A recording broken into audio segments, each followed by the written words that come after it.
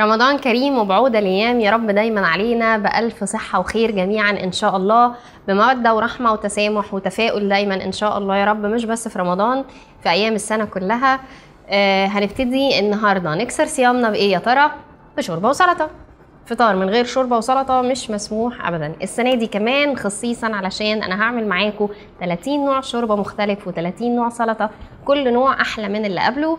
هنشوف النهارده شوربتنا من مطابخ الجيران كده هتبقى إيه. شوية يعني هي حاجة آسيوي بس هنعملها بمقادير آه، مطبخنا المصري. أو مقاديرنا العربية الموجودة وبطريقة يعني مستصاغة لينا إحنا ناكلها. شوية توابل هنشيلها كده من مطبخهم الآسيوي شوية وهنعمل شوربة رز بالفراخ. شوربة رز بالفراخ يعني نشويات يعني بروتين حيواني يعني آه، مش محتاجة حتى طبق أساسي على الفطار. شوية رز بايتين من امبارح أو أنا عندي كوباية رز ناشف وعندي دبوسين كده غلبانين في الفريزر فقلت أعمل بيهم شوربة. yummy yummy yummy. عبارة عن آه، عندي دبوسين ثلاثة فراخ وعندي معلقة آه، sorry مش معلقة كوباية رز وعندي بصلاية متقطعة شرايح. آه، البيض مسلوق اختياري بس هي أساس الشوربة إن هي بيتحط عليها بيض مسلوق وشوية كرفس والتوابل بتاعتهم. وعندي جنزبيل ومعلقة توم وكده عملنا طبق.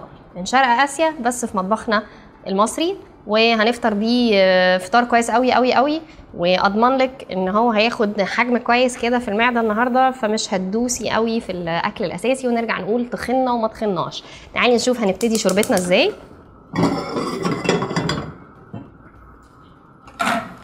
هحط شوية زيت.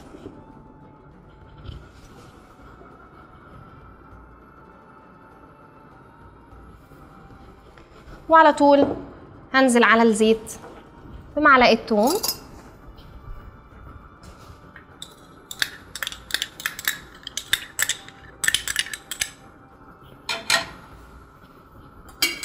وعلى التوم ده أنا عايزة أنزل يعني أنا كنت ناوية أبشره بس ما لقيتش مبشره أنزل شريحتين كده ممكن نحاسب دي شوية. أنزل شريحتين جنزبيل.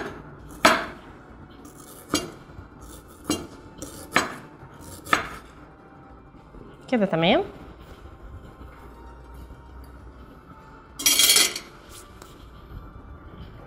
هشوح دي تشويحة كده. أنا عايزة لون بس التوم يتغير كده ياخد لون ذهبي يعني.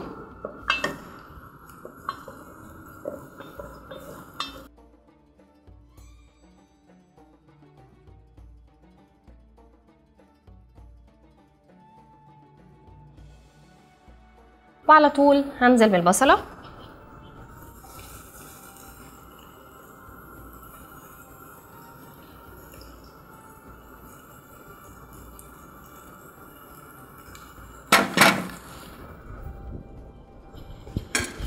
هكمل تشويح البصل والثوم. يعني عدد الصايمين بيزيد كل سنة ما شاء الله. يعني حوالين العالم كله يعني في الكرة الأرضية. يعني شرق آسيا كمان أو عموما يعني بما إن إحنا بنتكلم النهاردة على شوربة شوية من المطبخ الآسيوي في ناس كتير جدا جدا جدا صايمين آه، في المنطقة دي. آه، شوية ابتدى كمان عددهم يزيد من سنة لسنة. هم أصلا كتير ما شاء الله من غير صايمين أو مش صايمين. هم ما شاء الله كتير كتير بس عندهم كل حاجة نظام. حتى لما بيكتروا ما بيحسوش بالزحمة دي يعني. آم، أكلهم خفيف بيعتمدوا على الرز جدا. في رز بسمتي طبعا مسلوق يعني عشان النشا بتاعه ما بيبقاش زيادة. إحنا هنستخدم رز عادي من مطبخنا العادي النهارده يعني. بس بيعملوا دايما توازن في أكلهم مش بس في رمضان عموما يعني. عشان كده مهما ياكلوا نحس إن هم رفيعين كده ما شاء الله.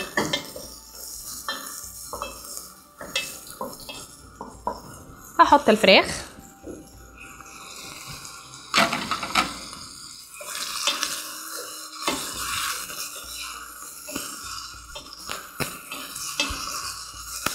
وهنزل على الفراخ بالتوابل. أنا التوابل بتاعت الشوربة ما فيهاش أي حاجة غير ملح وفلفل. الجنزبيل قايم آه، بالدور تمام يعني. ومش هحط كمان فلفل كتير علشان أصلا الجنزبيل كده كده شوية يعني بيحرق. رشة ملح.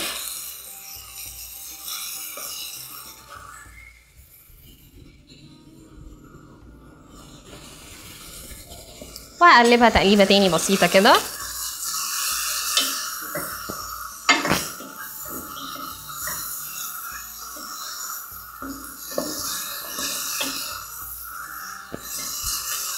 كمان لو حد عنده في البيت آه، الوك اللي هو ال- الطاسة الغويطة دي اللي هي بيتعمل فيها كل الاكل الأسيوي صيني تايلاندي الواك ده كمان درجة حرارته بتخلي الأكل بيسوى بسرعة قوي. لو هو موجود طبعا في بيوتنا مش كلنا يعني عندنا الواك ده. لو موجود بيخلي الأكل بيستوي بسرعة جدا جدا يعني. هشوح بس الفراخ تشويحة كده حلوة معتبرة يعني.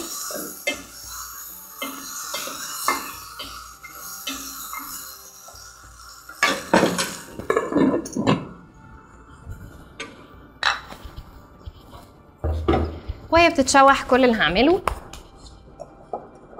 أنا عايزة أحط في الشوربة عودين بصل أخضر ممكن يتحط عليها كمان كرفس بيبقى حلو قوي قوي عموما الشوربة خلي فيها دايما كرفس يعني.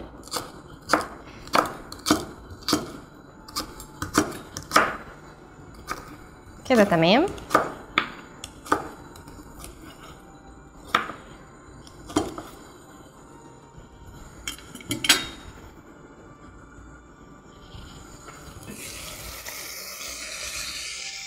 واحط دول كده. واشوحها كمان تشويحة.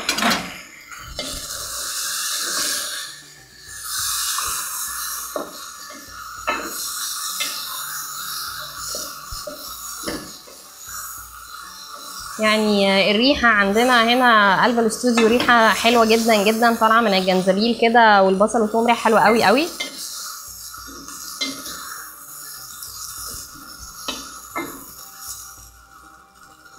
حتى لو اليوم ده عندك كده حاجة خفيفة أو بواقي من أكل امبارح وهو ده اللي هتحطيه على سفرتك النهارده في رمضان آه، مش محتاجه إن انت تعملي لحمة وفراخ ولازم مش عارف ندخل بقى بتقولنا في أيام رمضان بحسها صراع يعني مين هيعمل أكتر أكل على السفرة. حتة فراخ صغيرة موجودة من امبارح دخلتيها في شوربة فجددتي من الشوربة اللي انت هتعمليها وفي نفس الوقت عاملة رز فيها يعني حاجة خفيفة خفيفة كده طعمها حلو جدا جدا جدا صدقيني. والمكونات دي بيتهيألي مش غريبة عننا يمكن هو البيض المسلوق مش عايزة تحطيه ممكن ما تحطهوش. بس لو في ولاد صغيرين كمان لسه بيبتدوا يتعلموا الصيام شوية كل الولاد بيحبوا البيض مثلا فهتشجعيهم إن هم ياكلوا مع الشوربة. البضاية كده خد بروتين من البيض وخد بروتين كمان من الشوربة نفسها من الفراخ. هحط على طول دلوقتي الشوربة.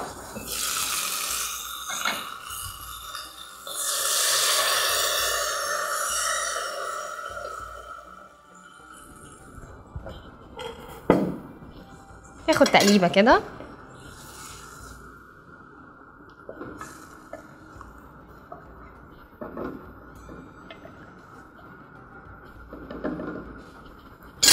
وعلى طول هحط كوباية الرز اللي عندي.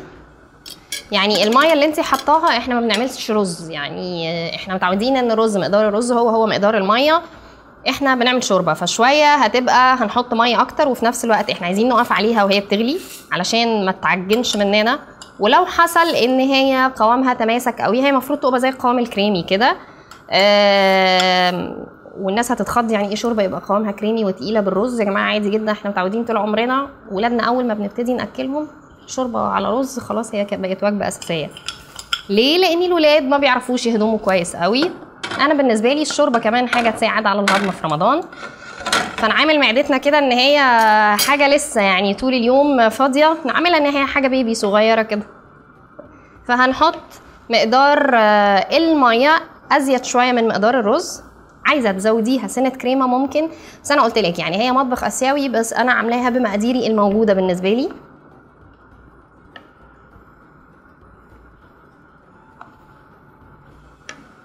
محدش يزعل مني عشان أنا قلت يا جماعة عاملوا معدتنا ان هي baby زي ال baby الصغير لما بنبتدي ناكله رز وشوربة.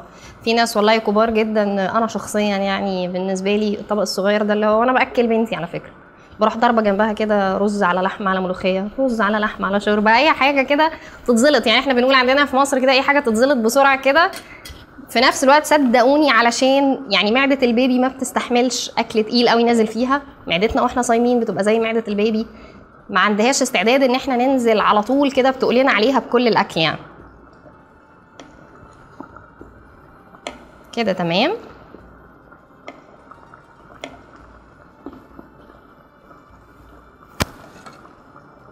أنا ممكن بس أروق حواليا عايزاها تغلي غلوة كده وهروق حواليا. مش محتاجة ده خالص.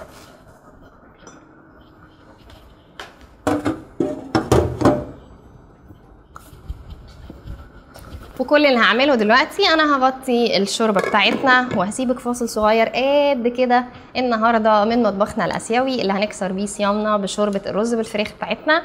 وأوعي تروحي في أي حتة عشان لازم ترجعي لي تشوفي معزومنا التاني اللي هو طبق السلطة المعتبر هنعمله منين النهارده وهنعمله إزاي. ورمضان كريم مستنياكي بعد الفاصل.